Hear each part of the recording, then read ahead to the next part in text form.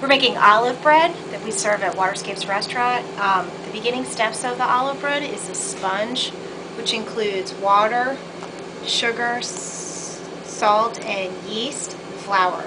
Basically, what you do is you let it, you mix it up for five minutes, and then you let it rest for about 45 minutes and rise.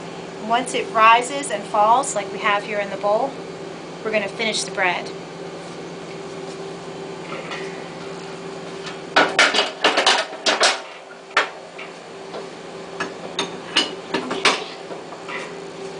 All right, so I'm going to add to the sponge nine cups of water,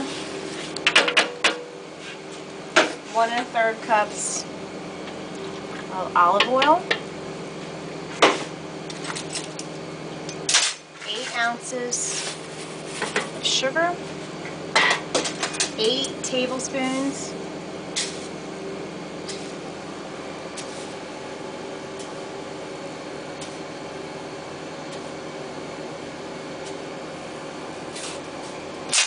salt, and eight pounds of high gluten bread flour.